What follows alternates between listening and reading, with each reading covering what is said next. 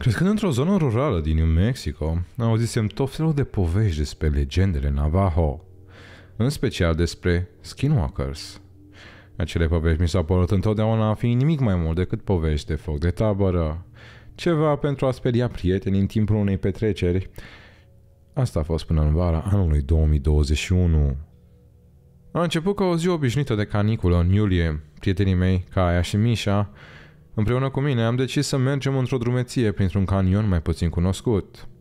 Unul în care nu mai fusesem până atunci. Planul nostru era să ne petrecem noaptea într-un camping din apropiere și să ne întoarcem în dimineața următoare. Am condus timp de aproximativ două ore, cântând tare și vorbind cu entuziasm despre planurile noastre. La sosire am găsit un loc perfect lângă un părâu cu bule, ceea ce, îmi amintesc, mi s-a părut ciudat, deoarece majoritatea părâurilor mai mici din jurul acelei zone erau uscate în acea perioadă a anului. După ce ne-am montat corturile, Mișa a propus să explorăm zona înconjurătoare înainte de căderea nopții. Am împachetat fiecare câte un rucsac asigurându-ne că avem lanterne și am pornit la drum. Aproape imediat am observat lucruri neobișnuite. Oase de animale aranjate meticulos în modele geometrice pe sol, copaci zgâriați adânc în locuri unde niciun animal nu ar fi putut ajunge și o liniște enervantă care pătrundea în aer. Caia a fost cea care a simțit prima schimbarea de atmosferă. Voi simțiți asta?" a întrebat ea cu ochii, aruncând o privire în jur. E ca și cum am fi urmăriți."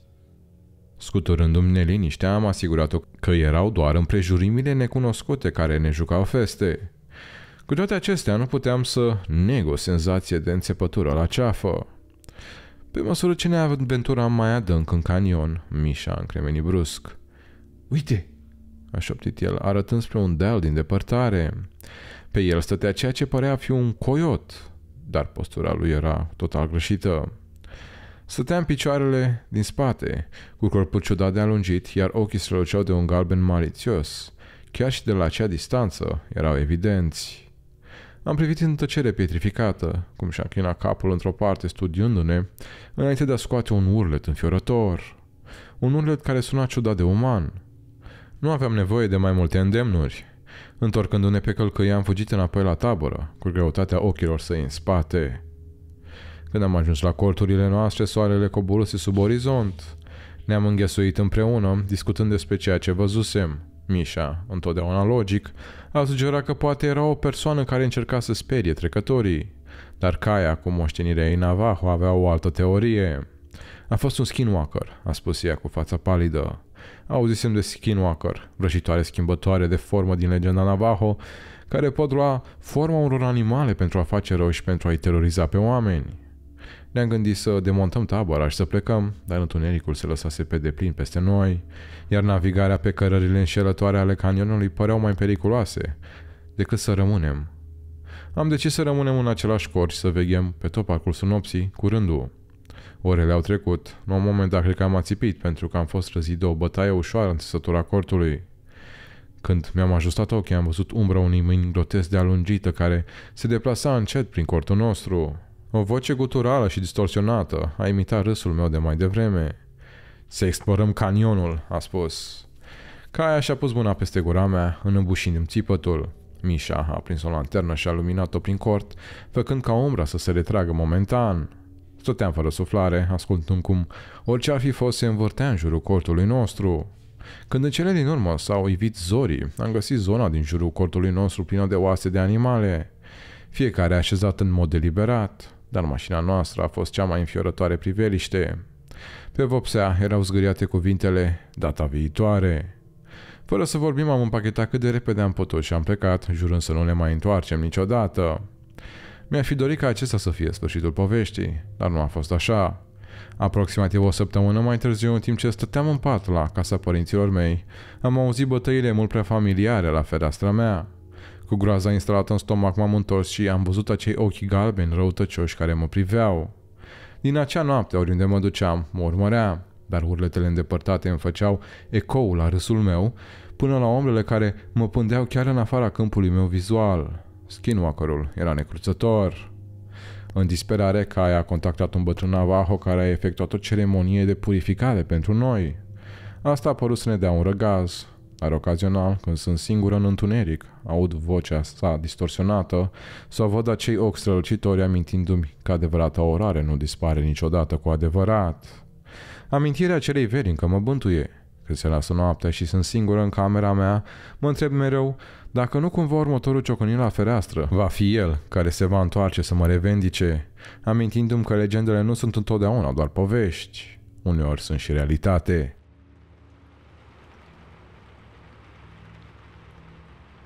Întotdeauna am fost pasionat de camping, natura, solitudinea, zumzetul liniștitor al greierilor noaptea. A fost modul meu de a mă detașa de rutina vieții de la oraș. În septembrie 2020 mi-am luat o săptămână liberă pentru a explora pădurile dense din Montana. Îmi făcusem cercetările, îmi făcusem traseul și eram complet pregătit. Sau cel puțin așa credeam. Ziua 1. Ciripitul păsărilor mi-a anunțat sosirea. Mi-am așezat tabăra într-un mic luminiș înconjurat de pini înalți. Soarele se juca de avați ascunserea prin frunziș, aruncând modele hipnotizante pe cortul meu. În acea seară, după o masă simplă de supă, dintr-o conservă și pâine, m-am așezat în sacul de dormit, ascultând sinfonia pădurii. Fericire. Ziua 2. Drumeția a fost o ordine de zi. M-am aventurat mai adânc în pădure, lumea de verde și maro fiind ocazional punctată de către o căprioară sau un iepure trecător. În jurul prânzului am dat peste un luminiș neașteptat. Era un cimitir. Mormintele erau vechi, unele pietre uzate de timp, altele încă se mai distingeau. Nume de coloș de la începutul anilor 1800. Ceea ce mi-a atras atenția a fost separarea unui mormânt de cealaltă, înconjurat de pietre albe. Pe el scria Ana L. Ferește-te de mânia ei. Nu sunt superstițios, dar izolarea mormântului Anei mi-a dat un sentiment straniu. Am decis să marchez cimitirul pe harta mea și să continui rapid drumeția. În acea noapte, pădurea părea diferită. Era o tăcere apăsătoare, ocazional întreruptă de un ecou îndepărtat gol, care suna aproape ca o șoaptă. Ziua 3. M-am trezit și mi-am găsit tabăra în dezordine. Mâncarea mea era împrăștiată, câteva ustensile lipseau, iar urme de pași erau peste tot în jurul cortului meu. Nu erau urme de animale, ci de om.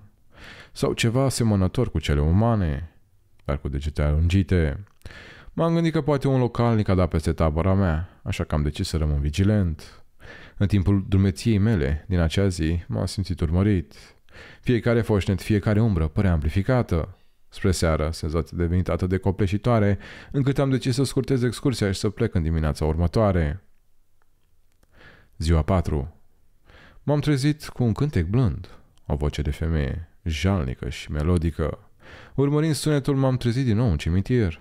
Dar acum, lângă mormântul Anei, se afla o figură întunecată. Arăta ca o femeie îmbrăcată în haine zrențuite, cu fața ascunsă de părul încălcit. S-a întors spre mine, iar eu am încremenit. Ochii ei erau niște goluri negre. Panicat am fugit înapoi în tabăra mea. Urmele de pași erau peste tot acum, iar cortul meu părea zgâriat. Împotriva unei judecăți mai bune am decis să împachetez și să plec imediat.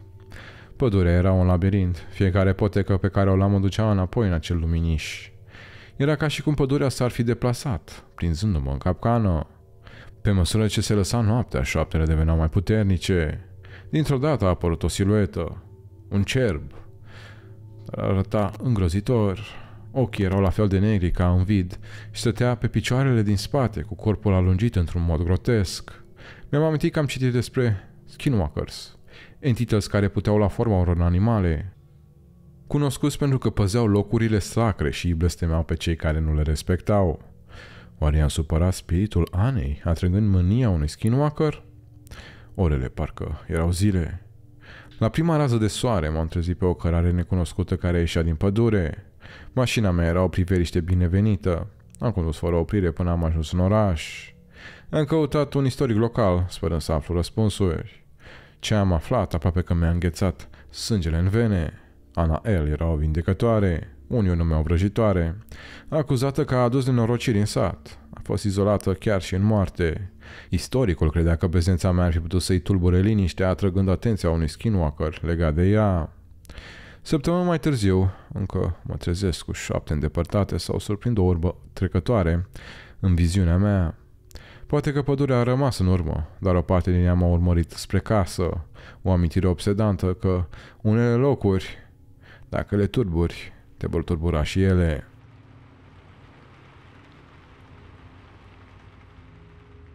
Familia mea a fost întotdeauna genul de familie care îi place să iasă la aer liber.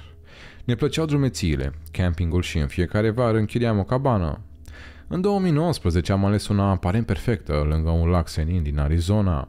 A fost cea mai izolată vacanță pe care am avut-o vreodată, fără alte case sau cabane la vedere. Prima zi a fost pitorească. Ne-am plimbat cu caiacul pe lac, am luat cina la grătar și am jucat jocuri de societate până târziu. Pe măsură ce se apropia noaptea, am auzit urlete îndepărtate.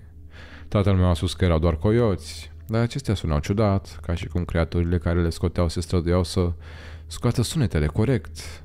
În a doua noapte m-am trezit cu un zgomot ciudat. Era o bătaie ușoară și repetitivă în fereastră. Mi-am făcut curaj să mă uit, așteptându-mă pe jumătate să văd o creangă de copac sau ceva inofensiv. În schimb am văzut o față distorsionată, abia vizibilă, cu ochii goi care se holbau direct la mine. Înghețat de frică, mi-am tras pătura peste cap și am încercat să mă convin că era doar un coșmar. Dimineața am povestit la micul dejun experiența mea. Soarea mea mai mică, Lily, a ezitat înainte de a dezvălui că și ea auzise zgârieturile la fereastra ei. Părinții mei, încercând să nu ne alarmeze, au spus că probabil erau doar animale sălbatice și că eram în siguranță înăuntru. În a treia zi, lucrurile au devenit mai ciudate. În timp ce pescuiam, am văzut ceva care pândea lângă un copac. O siluetă prea înaltă pentru a fi om, cu o poziție ciudată și tulburătoare. Părea să ne privească și apoi, la fel de brusc cum am observat-o, a dispărut. Când s-a înserat, curentul electric din cabană s-a întrerupt, a fost cufundat în întuneric, iar singura noastră sursă de lumină provenea de la felinare. Tatăl meu a încercat să pună în funcțiune generatorul de rezervă, dar acesta părea să fi fost sabotat. Firele au fost rupte, ceea ce nu era ceva ce un animal putea face. Noapte după noapte, tulburările s-au intensificat. Voci optite care imitau vocea mamei mele sau ale surorii mele în fața ușii. Făcându-ne semn să ieșim, umbrele se mișcau pe lângă perdelele noastre.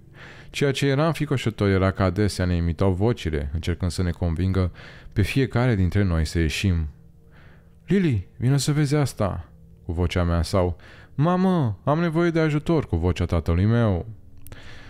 Dar cu toții eram înăuntru, în siguranță. În cea de-a cincea noapte a sosit punctul culminant al ororii noastre. Tatăl meu încercând să fie protector a decis să înfrunte orice era acolo. Înarmat cu o lanternă și cu o bută a ieșit afară. Cu mine, la un pas în urmă. Frigul era pătrunzător, întunericul aproape tangibil. Dintr-o dată, din copaci, am văzut o strălucire fantomatică. Înainte de a putea reacționa, a imitat vocea mamei mele. Dragă, vino să mă ajuți! Vocea era aproape perfectă, dar exista un subînțeles gutura care îi trăda minciuna.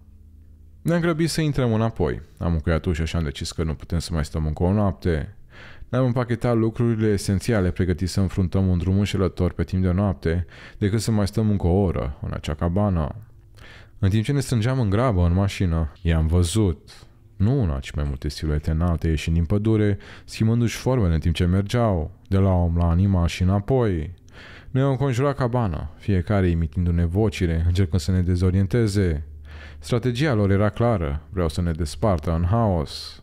În timp ce ne îndreptam, farurile mașinii au luminat cabana și pentru o clipă am văzut figurile în adevărata lor formă parodii grotești ale formei umane, ochilor reflectând o foame rovoitoare.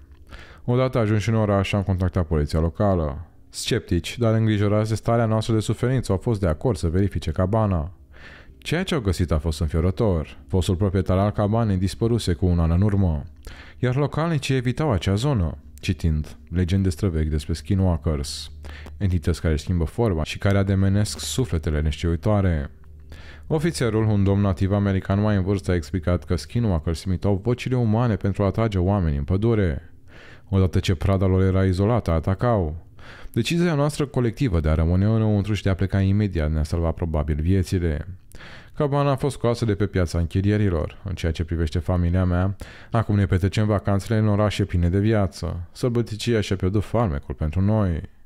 Amintirea bântuitoare rămâne totuși, servind ca un semn chinuitor a momentului în care aproape am fost păcăliți de răul străvechi care ne pândea din pădure.